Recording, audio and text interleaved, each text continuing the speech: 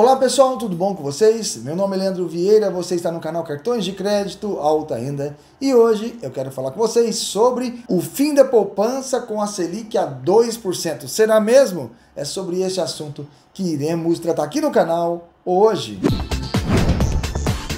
E aí pessoal, aqui quem fala é o Marlon eu vim aqui agradecer o Leandro Vieira do canal Cartões de Crédito Alta Renda pelas suas orientações. Eu acompanho o canal há mais de um ano e meio, eu tenho 20 anos e já alcancei aí mais de 16 cartões, incluindo eles o meu cartão de crédito do Inter com um limite acima de 5 mil e o meu cartão do Nubank também com acima de 2 mil reais de limite. Valeu pessoal, um abraço aí. Gente, nós estamos falando muito que a poupança vai acabar, que tudo vai ser o fim. Vamos verificar uma nota que foi dada e depois vamos à discussão deste assunto.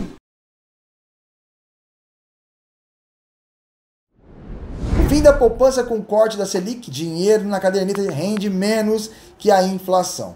Após a reunião com o Banco Central na última quarta-feira, dia 5, a Selic agora foi definida para 2% ao ano, o que passou a preocupar os poupantes com a possibilidade do fim da poupança, já que o rendimento da poupança depende do resultado da taxa de juros. Será o fim da poupança? É uma pergunta que se faz na matéria. Ao contrário do que se esperava, neste ano o saldo da poupança no Brasil aumentou mesmo com a queda dos juros. Isso mostra que, independentemente de render cada vez mais próximo de zero, muitos brasileiros ainda preferem a caderneta de poupança, seja pela segurança ou pela praticidade. Você sabe como é definida a rentabilidade da poupança? Ela representa 70% da taxa Selic quando está inferior a 8% ao ano. Isso significa que com a Selic de 2%, os valores guardados na poupança rendem apenas 1,4 ao ano, isentos de impostos. É importante considerar o impacto da inflação antes de realizar qualquer investimento, pois, como sabemos, todos os meses nossas moedas perdem um pouco do valor de compra. Neste ano, por exemplo, a estimativa é que a inflação seja 1,72% até dezembro. Sendo assim, quem deixou o dinheiro guardado na poupança vai perder poder de compra.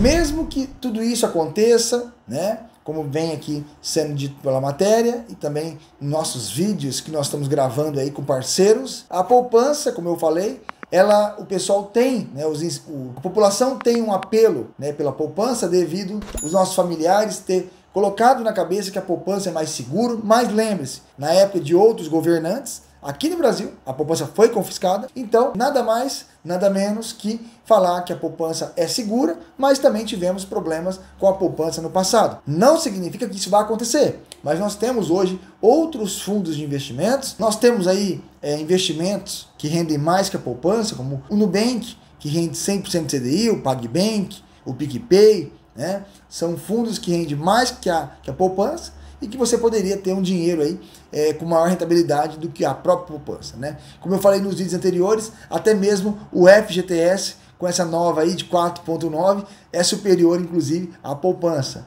Então, só deixando claro para vocês que nós não estamos incentivando vocês, muito menos, a tirar o dinheiro da poupança para colocar nessas empresas que eu acabei de falar aqui. Simplesmente fazendo uma analogia para que vocês entendam que o dinheiro parado na poupança você está perdendo. Com esse valor de 1,72 ao ano na poupança, você vai perder muito dinheiro. Para que você entenda um pouquinho mais, com 100 reais você comprava essa caneta, agora com essa taxa da poupança, você não vai conseguir comprar por 100 reais. Ou seja, você vai ter que desembolsar um pouquinho para poder comprar ela. Então é isso que está acontecendo com a poupança. Mas você é dono do seu dinheiro, você é dono dos seus valores, você mesmo sabe onde você vai colocar ou não. No entanto, fica aí a dica. Eu fico com essas orientações, outras opções de mercado, de investimentos, onde você também não vai perder.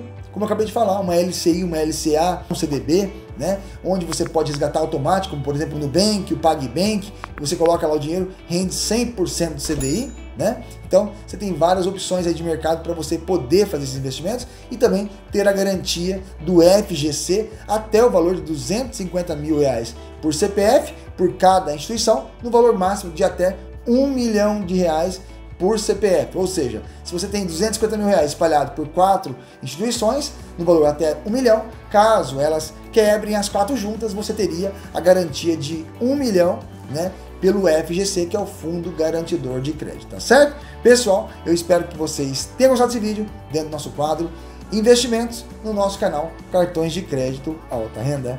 Até o próximo vídeo. Fique com Deus.